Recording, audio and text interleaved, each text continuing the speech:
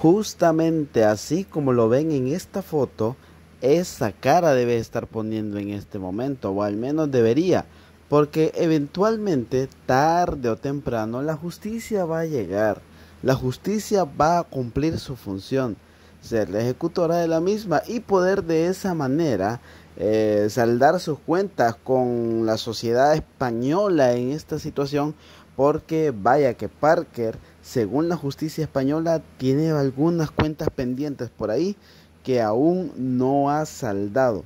Espero yo que logremos ver que se salden pronto y que no pase otros 30 años como que si no hubiera hecho nada. Pero yo que él estaría un poco preocupado porque su situación no es absolutamente para nada favorecedora.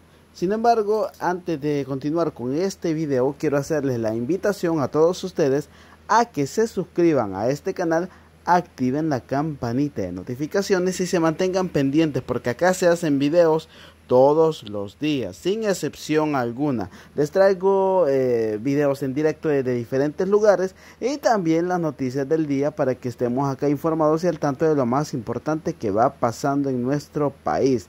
Ya que estamos hablando con respecto al tema de Rodolfo Parker, les cuento, les narro que, ¿se acuerdan ustedes del juicio que se está llevando en España?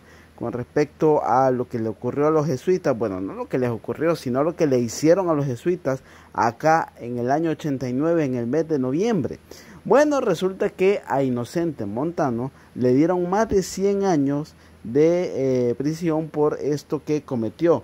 Una eh, información bastante interesante. Y eh, la sentencia se dio precisamente el día de hoy en torno a todo este tema. Acá está la noticia. En esta audiencia nacional de España fue condenado Inocente Montano por el tema de estos jesuitas, los cinco de origen español, y por cada uno le dieron 26 años, 8 meses y un días. Lo malo es que el señor ya está bastante mayor y no va a pasar más de 30 años en prisión. La parte buena es que al menos en ese sentido se hizo un poco de justicia. Vean que Yuca está la situación que tuvo que venir otro país a hacer justicia porque en, el nuestro la impunidad está a flor de piel y está a la orden del día. Acá en nuestro país esto hubiera sido totalmente imposible eh, de mencionar que ha ocurrido acá, al menos por lo pronto. Pero si para que haya justicia hay que mandar a Parker a España, yo creo que el otro año la idea mala mala no está. ¿Por qué? Porque en la sentencia definitoria resultó algo bien curioso y bien interesante. Acá está eh, la sentencia y en ella se dice que, bueno, se menciona a Rodolfo Parker, quien era en su momento, vamos a acercar un poquito para que se lea mejor, ahí está, que era en su momento el asesor jurídico de la Comisión de Hechos Delictivos. Y presta atención a lo que estaba declarando eh, Yushi Mendoza, ¿se acuerdan ustedes de él que fue un testigo que declaró desde acá? Bueno, eh, te estaba viendo lo que estaba declarando y dice, no, no, eso no puede ser así, esa declaración no puede ir así y hace que y hace que el que estaba tomando la declaración saque papel y le empiece a leer y le dice al testigo, no, no, no puedes declarar eso, no tienes que mencionar a ninguna persona de alto mando, no tienes que mencionar a Benavides, dijo que tenía instrucciones de alto mando. Eh, y bueno, interesante toda la información que se eh, daba, porque se menciona también en más de una ocasión. Luego eh, dice que la comisión de honor que la creó el presidente Cristiani para realizar una investigación interna dentro de la Fuerza Armada, presidida por un general y en la que estaba de asesor un abogado de apellido Parker. Este abogado, en una conversación que tuvo con el testigo, le dijo que un militar le había comentado que Benavides había dicho que eh, lo de Yacuría contaba con luz verde del Estado Mayor y que Parker le dijo al presidente Cristiani y que éste le dijo que lo comentase a la Comisión de Honor, cosa que hizo, pero que la Comisión de Honor había decidido no mencionar esta frase. El testigo le preguntó el por qué no se lo había dicho al juez y Parker le respondió. Recibió una carta del teniente René Yushi Mendoza contando lo que había pasado y solicitando que le pidiera perdón a la familia de Elba y Celina y le pedía perdón por lo que había ocurrido con los jesuitas. También se menciona a Parker más adelante cuando se dice que el abogado Rodolfo Parker Soto, Rodolfo Antonio Parker Soto, también participó y asistió obstaculizando la investigación y ocultando la participación eh, en lo de los jesuitas de los demás mandos del ejército. Está, es decir, que estaba defendiendo gente por ahí, Rodolfo Parker. Es decir, que aquí estamos hablando de alguien que fue cosa seria en torno a todos estos temas. Ya se le hizo la condena a Inocente Montalvo. Eh, es, bien interesante que eh, fue hallado culpable y se llama inocente. Cosas e ironías de la vida. Pero, honestamente, falta Parker. Y no solo Parker, también falta Cristiani.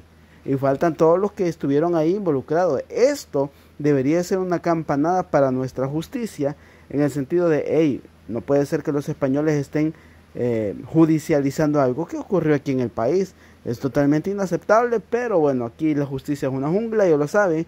Aquí a los abogados, Parker es abogado por cierto, y es el vivo ejemplo de lo que voy a decir, lo forman para que la ley no se cumplan y los jueces, la mayoría, tienen un precio que gente como Parker puede acceder fácilmente dado que tienen fondos provenientes del erario público. Ahí no nos perdemos de mucho. Pero todos sabemos que falta Parker. Lo triste es que por ahí hay una que otra candidata a diputada que dice que este señor lo representa.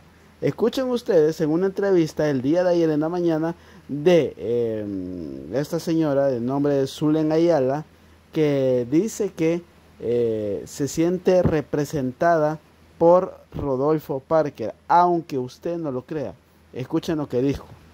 Que todos, personas que han cometido algún ilícito o hay indicios de que se ha cometido un, ilícito, bueno, hay que llevarlos a la justicia. todos tenemos derecho a un debido proceso. Adelante. Yo creo que el doctor Rodolfo Parker ha demostrado sobradamente que tiene la capacidad no solamente de defenderse él, sino de defendernos a nosotros. Yo me siento totalmente representada por la labor que está desempeñando el secretario general de mi partido político como un líder, como un verdadero líder del... Les pregunto a ustedes, así de manera seria, sin querer entrar en comentarios despectivos hacia esta doña, pero les pregunto, ¿alguno de ustedes que tenga dos dedos de frente se sentiría representado por este ser vivo. ¿Alguno de ustedes se sentiría representado por este espécimen de la fauna política salvadoreña y claro ejemplar de la impunidad? Yo en lo personal no. En lo personal, él tal vez representa a los delincuentes aquí en nuestro país, pero no a la gente honrada. ¿Cómo va a? ¿A quién o qué clase de persona, mejor dicho, se va a sentir representada por él?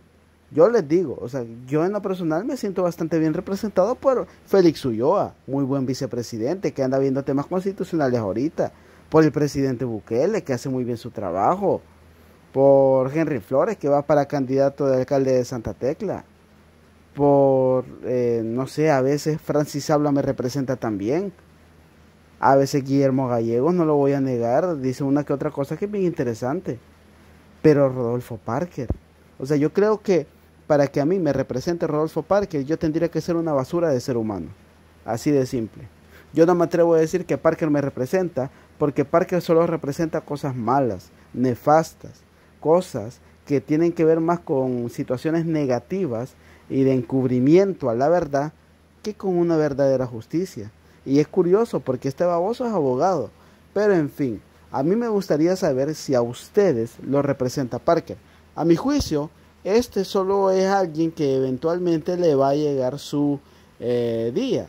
Lo triste del caso es que acá cuando ocurrió todo lo del allanamiento que se hizo para llevar a muchos militares ante la justicia, acá Chato Vargas, otro que andaba en sus quehaceres en esa época, se escudó en la misma constitución de Salvador para no responder ante la justicia. Ojo que Vargas, en lo que ustedes van a escuchar a continuación, en ningún momento dice son inocentes, en ningún momento los defiende, en ningún momento pone en tela de juicio que ocurrió. Vargas lo que dice es, pasó antes de que la extradición estuviera contemplada en nuestra constitución. Pasó antes de eso, por lo tanto no se los puede llevar. O sea que son culpables, pero la ley los protege. Así de simple. Por cosas como esta es que la constitución hay que reformarla, pero escuchen lo que dice el Chato Vargas para que no digan que es invento mío. Implicados en la masacre de seis padres jesuitas en 1900. Por su parte, el ex general y diputado de la oposición, Mauricio Vargas, lamentó que la situación se haya dado de esta manera. La extradición no procede. Sin una difusión roja tiene por finalidad la captura para una extradición, ¿cómo es posible de que se haga la captura si la sala confirmó en su resolución del 2012 cuando dijo que la extradición no procedía porque cuando el hecho fue cometido, la constitución de la República no permitía la extradición de eh, salvadoreños. Ya procedió este viernes a la captura de 17. O sea, imagínense ustedes, aquí tenemos a este baboso escudándose en la misma ley para no responder ante la justicia. La constitución, el código penal y todas las leyes deberían de servir para que la justicia funcione, sea operativa y no para no cumplir ante la misma, sino la justicia en sí misma no está cumpliendo ningún propósito positivo y se vuelve cómplice de gente como Rodolfo Parker. ¿Ustedes creen que esta es la mirada de una persona honrada? En lo personal tengo serias, bueno, no, no es que tenga pruebas, pero tampoco tengo dudas. Y creo que así la mayoría de la población salvadoreña. Pero en fin, déjenme en la caja de comentarios la opinión que ustedes tienen de este señor de pelo canoso que lleva décadas lactando del Estado y que le da, pues, se le da bastante bien encubrir a uno que otro situación culposa hacia gente de mucho poder. Háganmelo saber en la caja de comentarios y también háganme saber si para ustedes falta Parker y también falta Cristiani. A mi juicio, Cristiani también falta en todo esto, no solo Parker. Parker es uno del eslabón hay mucho más que escarbar en torno a todo esto. Pero bueno, ya que van a ir a comentar, también les hago la invitación a que se suscriban, compartan este video para que llegue a mucha más gente y activen la campanita de notificaciones para estar siempre conectados. Se les quiere, gracias por estar acá pendientes y nos vemos mañana o más tarde con un nuevo video en directo. Adiós.